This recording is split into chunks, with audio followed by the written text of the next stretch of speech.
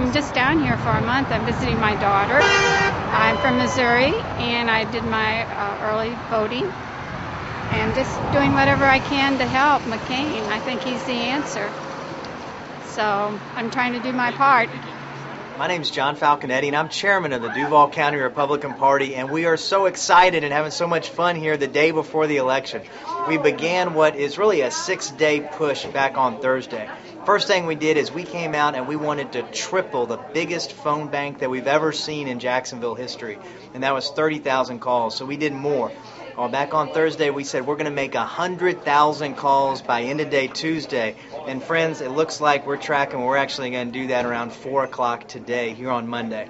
So we are thrilled. The phone banks are going crazy. We've already got people out in the streets all over Jacksonville going door to door helping us spread the word, especially on the heels of just a wonderful four mile long caravan yesterday. So We've got excitement. We've got volunteers coming in one after another. So we're all ready for Tuesday and we're ready to go.